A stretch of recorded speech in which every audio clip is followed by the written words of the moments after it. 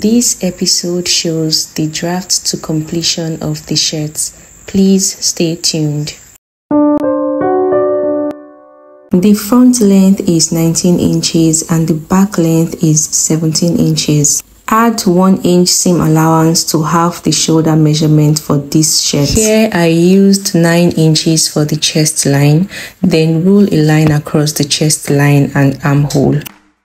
Measure 1 inch from the chest line to create the bust span line.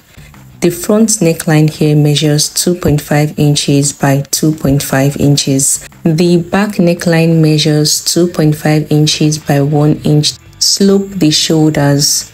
Mark quarter of the bust and waist circumferences. On the center back line, come in by 1 inch. From this line, mark quarter of the circumferences Connect the side lines. The armhole curves. Mark the dart line 4 inches down. Take the difference of 2 inches between the half lengths. Connect to the bust points.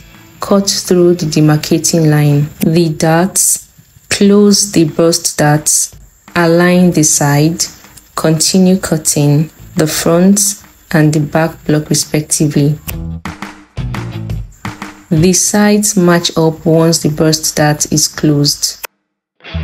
The sleeve's length is 11 inches with a cap's height of 4 inches and an upper arm circumference of 9 inches. Draw a line from the sleeve's cap to the side as shown.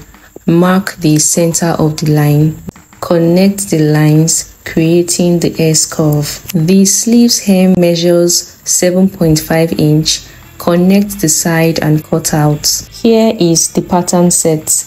Transfer the pattern to fabric, adding 0.5 inch along the center back, neckline, shoulder and armhole, 2 inches at the hem, 2 inches at the side. For the front, 2 inches seam allowance at the bust, 1 inch at the waist, 2 inches at the hem, 0.5 inch at the center front and other areas. The sleeve has 2 inches at the hem, 1.5 inch seam allowance at the side and 0.5 inch at the top. The pocket measures 11.5 inch by 10 inches and the cover measures 7.5 by 7.5 inches. The placket is 20 inches by 3.5 and 20 inches by 4.5 inches. A quick demo on how the placket will be attached to the center front.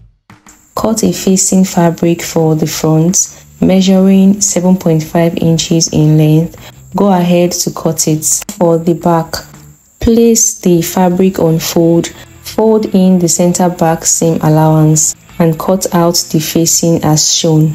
Turn the front neckline with the facing first by 0.5 inch seam allowance.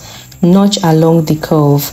Top stitch the seam allowance on the facing fabric. Flip back in position. Fold the hem by 0.5 inch and top stitch. Next to the back. Join the center back by 0.5 inch. The neckline is turned flip to the wrong side, fold the hem and top stitch.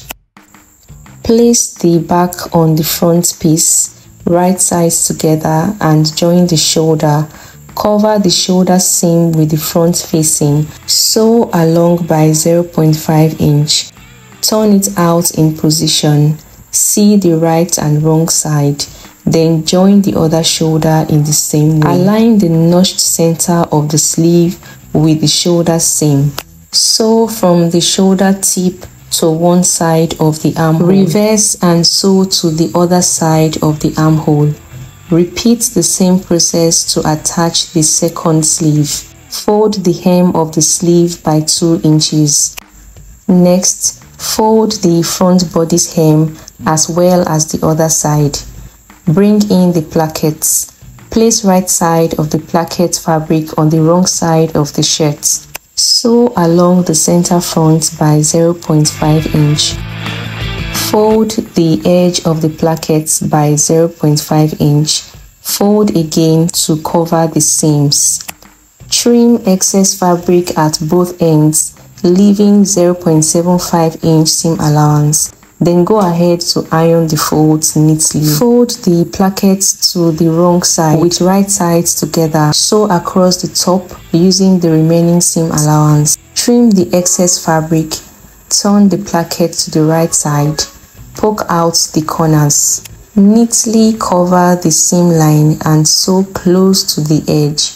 As you reach the hem, fold the placket to the wrong side again and sew the bottom closed. Turn back to the right side and complete top stitching all the way down. Repeat same in attaching the other plackets. Measure from the shoulder tip 7 inches and draw a line. Come in with the pockets. This time, fold the fabric wrong sides together. Go in from the fold by 1.75 inches. Sew a straight line, open flats, Press down the center fold, top stitch the top and bottom in place. Fold the top by 1 inch and sew the pocket cover on the 7 inches line mark. It will be sewn down here. Place the pocket 1 inch away from the placket. Fold the edges by 0.25 inch. Pivot at the corner and continue stitching the shorter side. Turn and sew the remaining longer side.